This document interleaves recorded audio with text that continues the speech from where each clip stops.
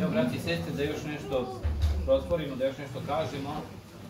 Ono što smo rekli, e, duhovni post je danas počeo. Znači, već e, krećemo da se pripremamo. E, ova nedelja koja nam dolazi je trapava, znači ne, sreda i petak se ne posti.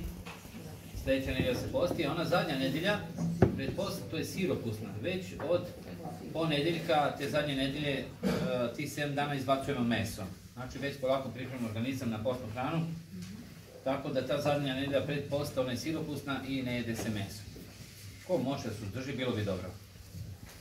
Početak posta počinje uh, ovaj, tako što se tri dana ništa ne jede i ne pije. Ali ko može, naravno.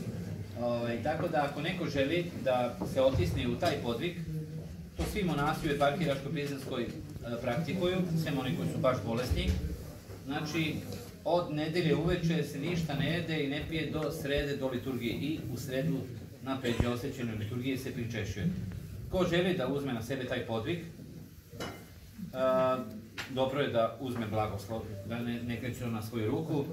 Uglavnom u Barajevu, na primjer, prošle, prošli post, ja mislim da je jedno 80 ljudi i možda i preko 100, nisu svi mogli doći se pričati, ali su držali tri mirje, to se zove tri mirje.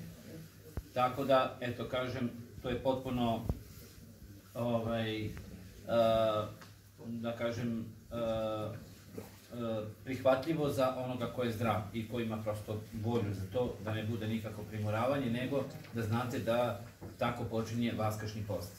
Tako što se tri dana ništa ne jedi ne pije. Ali ko može, iz blagoslova. Uh, ono što hoću da kažem, to je da vas upozorim, da će od već od danas krenuti veće iskušenje. Đavo će se truditi da od miša pravi slona. Šta to znači? Nešto je žena stavila tamo u kući što nije trebala, muž počne da skače, što si to stavila? Ko...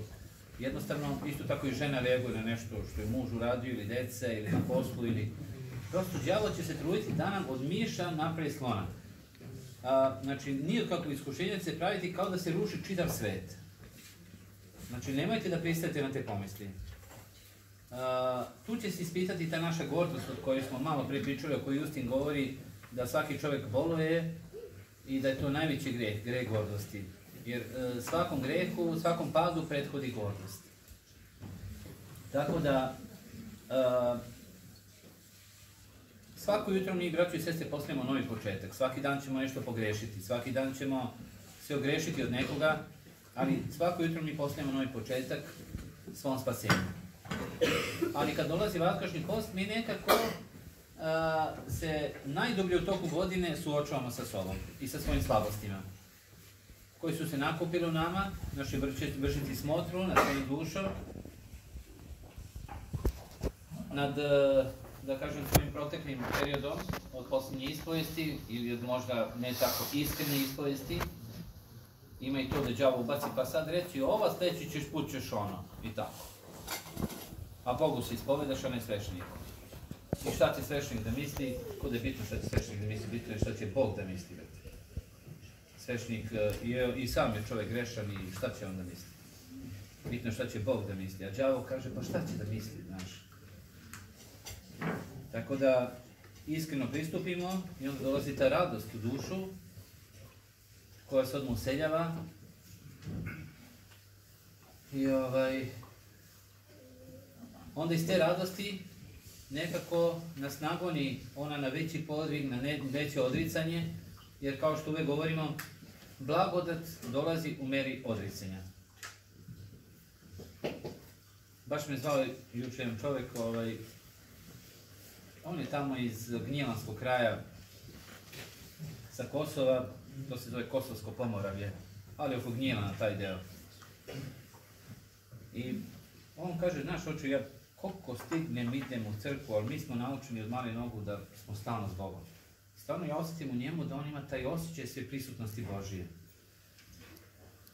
Uh, jednostavno, ima taj, nekako od mali nogu mu je usjećen, usađen taj osjećaj da je Bog uvek tu. I, ovaj, i tačno, da kažem, nama monasima je to lakše da mi, e, da kažem, prozremo i dopremo, jer svaki dan smo u tim duhovnim relacijama. E, naš narod nikad nije bio nešto mnogo molitve narod. Ali je imao taj jaki osjećaj svi prisutnosti Bože, da je Bog uvek tu, imao je strah od greha, strah od Boga. Nije onaj strah da se mi sad nije Bog dželat da bi on nas nešto mučio. Bog je apsolutna ljubav, ali e, mi ako počinimo greh, mi se odvojemo od Boga. Znači, mi smo ti koji, zato imamo taj strah da se ne odvojimo od Boga. Ne da je Bog, Bog će suditi onako kako smo mi živjeli. Jer će Bog, pa ti si tako živeo, evo izvoli sada. Kao one devstenice, četiri kad su upalile svetiljke svoje, dve su imale, dve nisu. Sve su bile devstenice, ali nije bio dovoljan podvig de, devstenosti, nego prosto su je bile, potrebne su bile i vrline i potrebno je bilo da se borili i sa gordošću. E, ono što sam rekao za žitije Marije Egipćanke, da mi čitamo uoči Vaskašnje posta, znači počinjemo u nedelju, mi u, u, ponedjeljak, mi u nedelju uveče čitamo uvek. U svakom našem manastiru se čita žitije Marije Egipćanke. Velika, najveća bludnica možda u istoriji čovečanstva, mislim možda ne u istoriji čovečanstva, ali u tom vremenu sigurno, ovaj, uh, svašta je radila, i kada je pokušala da uđe u crkvu u Jerusalim na krstodan, njoj neka, neka sila dala i onda kreće njeno pokajanje. Tako da mi preporučio da pročitati njeno pokajanje, ona imala takav dar da je mogla da lebdi i da je prozirala ljude kad vidi čoveka, a nikad, na primjer, 40 godina nije videla čoveka na uz, nizu je znala i sveto pismo i psaltir i sve. A znam jedan slučaj, jedan brat, on je bio razbenik, I kaže on meni, znaš, oče, kaže, ja sam u Grčkoj napravio neko teško razvojništvo, pljačko neko. I kaže on, i ja kaže, šta ću, ja pobegnem za Švajcarsku, kaže, uhvate me tamo u Švajcarskoj, puni kamerama, nemam pojma, i zatvorim i ja se čekam, kaže, da me prebace za Grčku. I ja se setim da u torbi imam sveto pismo. I on počeo čita sveto pismo, Novi Zavet, I on kaže, tražite, daće vam se, išite, kucajte, otvorit će vam se. A on već ima jedno dete i kaže on, Bože, samo me izbavi da, da, da izađem odavde, da ništa ne bude i obećavam ti da ću živjeti kao hrišćanin ceo život. I deportuju njega za Grčku, dolazi on na sud i on sad spreman da kaže sudi, ja sam tu uradio, molim vas oprostite, ako mogu neku manju kaznu da dobijem dovode oni onu ženu, njega ne pitaju ništa, a ova žena gleda kaže, ne, nije to taj moment.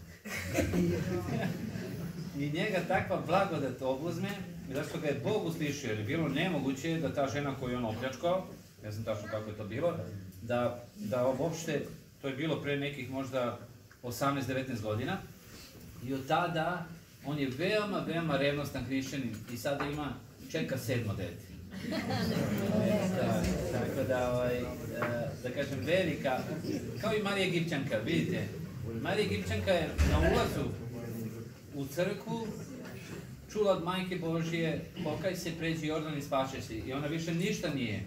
I ovaj momak, ovaj brat, gdje se samo pomolio u toj švajcarskoj tamnici, i rekao, Bože, izbavi me, obećavam da ću živjeti kao hrišćanin samo da što manje dobijem. Jer je on smatrao gotovo, nema tu šta kamere su ga snimile. Međutim, ova žena kaže, ne, to nije tako.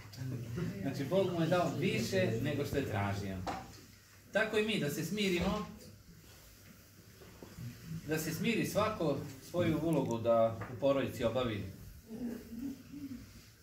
Da muškarci daju primjer ženama, žene da se pokoravaju svojim muževima razumno. Razumno prosto da, jer najrazumnija je žena ona koja se pokorava svom mužu i sluša ga.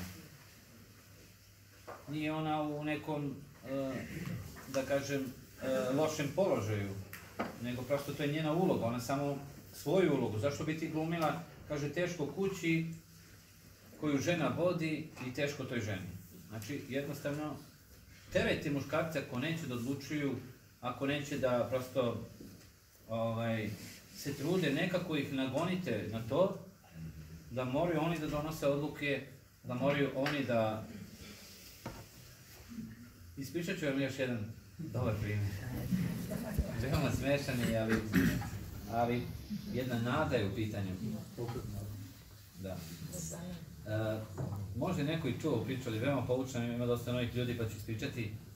Ovaj, bio je jedan obućar, znate, i ja krenem iz manastira u Barajevu da popravim neke cipele nekom monaku ili iskušniku, ne znam staršom. I ja tražim, neka kiša bila, tražim, tražim, tražim, ovaj, po gradu, ne znam gde ima obućara, nema obućara prosto. I negdje u gradu ja nađu jednog obućara. I ja kažem njemu, rekao, možete meni, brate, popraviš ove cipele? Kaže, mogu. Ja kažem, odlično. I on sad vidi, ja sam monah, a on me gleda, kaže, on, a ima 80 i nešto godina, mislim 86 godina, ali onako krepak sav, mršav, ali tako sav, ko, ko, ko sajla. I kaže on meni, znaš, hoćeš ja tebi da ispričam nešto što ti nisi sigurno u svom životu čuo. Ja kažem, ajde, ispričaj mi. A ja ostavim upaljena kola i mislim baš nekog iskušnika u kolima. I on kaže, znaš, moji roditelji su bili mnogo pobožni. Kaže, toliko pobožni da monahinje su često noćevale u našoj kući, a on je negdje iz Jagodine. Kaže, kad bi išli za Beograd, iz svih tih okolnih manastira, žensko monaštvo je noćelo u kući. Kaže, ti znaš da monahinje i monasi neće baš da spavaju u svakoj kući. Kaže, moji roditelji mene nisu mogli dugo da dobiju i jednostavno toliko su bili pobožni i molili se Bogu i kaže, onda su otišli na ostrog i mene su dobili. I dali su mi ime Vasilije. Kaže, ja sam tako rastao kao jedinac i odrastao sam sa monasima, monahinjama, moji su ljudi, roditelji stalno išli u, u crku. Kaže, onda kad sam ja malo podrastao, kad sam imao jedno 13 godina, 14, kaže, ja sam pobegao na radnu akciju. Bilo ono Titovo vreme, pobegne on, kaže, i onda sam tamo, nije bilo greha koji ja nisam počinio. Veoma sam se pokvario, kaže, oče na tim radnim akcijama. I roditelji nisu znali šta sa mnom da rade, bili su pobožni, to je bila sramota za njih, za porodicu. I kaže, jedno večer pričaju otac i majka i baba, očeva majka. Kaže, jedino nada može da pomogne. Kaže, daćemo mu, kaže, daćemo veliki miraz za tri krave. Kaže, nemoj da mu daješ dukate, kaže, kad uđemo pre nego da ne pobegne, nego kad ti kad uđemo u Avliju, tad mu daj dukate da tamo da. Da ne pobegne s dukatima, bio ne valjao skroz. I, kaže on, mi ulazimo tamo u Avliju, kao idemo da me prose, on ima 16-17 godina, da prose nadu. I oni mu daju dukate, kaže, ti daj ovo, znaš. Tako bi neki običaj tamo. Kaže, ja gledam, kaže, mogo bi odmah Vespu da kupim. Kakva nada. I kaže on, mi sad ulaze oni, on tamo, vamo tamo, kaže, ajde da vidim nadu da ne pobegne odmah naš. Svašta se njom vrtalo po glavi, kroz, prosto dete koje potpuno se, da kažem, odmetnulo. Kaže, vidi on nada tako lepa, nema pojma, on kaže, imam iza sena, ona kaže, on teo da je poljubi, on kaže, ne, ništa pre braka. A on kaže, dobro, dobro, dobro. I on se oženi, nada zatrudni i on pobegne od kuće. Ali je video gde baba drži dukate i otac i sve pare pokupi, pobegne za Beograd. Pun dukata tih i ovaj, dođe i nađe neku novinarku, išla ulicom, on kaže, šta je tebi, što si, kaže, tako nevesela. Kaže, ne možeš ti meni pomoći. Kaže, ma šta, kaže, ja tebi ne mogu da pomognem. Kaže, ja mogu sve da ti pomognem. Kaže, pa dobila sam stan, ali trebam da ga sredim. Kaže, pa ja ću sve da ti kupim. I on kupi tu Vespu njoj opremi stan i oni živjeli, kad je nestalo para, on počeo da krade. Uhvati njega, go u zatvor, a ova novinarka, on kako je pričala na njemu, ona uzme i napiše pismo tamo u Jagodini, eto, vaš sin je samo živo, jednom je nestao, ne znam gde je, pa ako bi mogli, što se ona ljutio, što je nestao, kaže, što je nestao i ni manje ni više nego to pismo dobije nada i ona otvori i vidi i tako. Ali ona je žena bila stabilna, hrišćanka, da kažem potpuno predana, da kažem tim, za, tim, tim zavetima ovaj, bračnim. on izašao iz zatvora, vratio se, Nada zatrudnila s drugim djetetom, kaže, onda sam ja otišao, oči više se nikad nisam vraćao, kaže, moji roditelji su bili Nadu za sebe, ne za mene, kaže, ona im je bila i sin, i snaja, i sve. I on je poslije se oženio, sedam žena još imao, i ovaj, tako potpuno čovjek, ali Nada je tu glavni lik. Nada, razumna žena, šta je radila? Kako su djeca stasavala i došla, na primjer, za prvi razred. Ona, ona ih uputi, spremi, pošalje za Beograd da uzmu blagoslov od oca za školu. Da im on da neki savjet nešto. I onda ih on posavjeti i vrati. Kad je srednja škola, uvek su oni dolazili o nekim praznicima na njih slala, da znala je koliko je bitna ta uloga oca u njihovom životu. I ona nikada nije dozvolila da ta uloga oca nekako e, prosto iz njihovog života ispari nekim njenim inatom ili bilo čeme, nego je njen razum pobeđivao. I, do, I dan danas njega tako ti sinovi poštuju, iako prosto kad gleda čovjek ljudskim očima, o, zašto da ga poštuju? Mislim, toliko je toga napravio, ostavio ih i sve. Ali ona je njih usadila da je otac za njih institucija. I zato se kažu Petri zapovesti, poštuj oca i majku svoju, da bi dobro i dugo poživio na zemlji. Ne kaže se poštuj dobrog oca i dobro majku, nego oca i majku. Nek je majka najgora, nek je otac najgor, ti si dužan da ga poštuješ. Kaže, da bi dobro i dugo poživio na zemlji. I zamislite, jedan od tih sinova drži veoma poznatu vinariju u Srbiji, a drugi veoma poznatu obuću, fabriku obuće u Beogradu. I oni svakog, svake godine šalju veliki prilog u Hilandar da se mole za njihovu porodicu i za sve njihove radnike. E vidite šta znači razumna žena. Znači ona je prosto, bez obzira na sve, ona je ipak se trudila da njihova deca, njena deca uvek imaju prisustvo oca. Tako da, eto kažem, njen podvig, ja se molim uvek za tu nadu, zaista, ona je se upokojila, da, ima jedan kraj, kaže on meni, kaže on, ovaj, ja kažem, pa mnogo si ožalostio tu nadu, kaže, jesam, kaže, na kraju sam je kupio stan i njoj, kaže. Šta? Kaže, ali ne znam kako da mi pomogneš, sad sam se uvatio s nekom, kaže, četiri godina maza, kaže, ne znam šta, kako sada se tarasi. Učenik jedan, cijel život je robovao, cijel život je robovao, Ovaj, a mnogo je, i mnogo je stekao u životu jer je bio, tada su bili malo tih ljudi obućara, on je pravio sam opanke i sam je pravio neke za konje nešto i veoma je, imao je, veoma bi, znao je sa novcem. Ali kaže, zanimljiva priča, zanimljiva u stvari ta nada i prosto ta, ta njena veličina, da je sve prevazišla, da kažem, što se protiv nje urotilo i po, pobedila đavola smirenjem i svoju decu izvela na put, da su oni tako blagosloveni u svemu, znači, eto koliko je bitno poslušanje i da se poštuju roditelji. Eto toliko, ne bi vam više ništa ovaj, uh, pričao.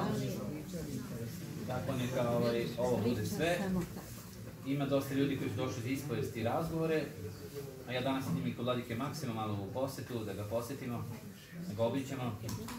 Imamo razloge. Ovaj, tako da sve vas otpuštam, ko je za ispoj, za razgovore, neka dođu kod ispovedovnice.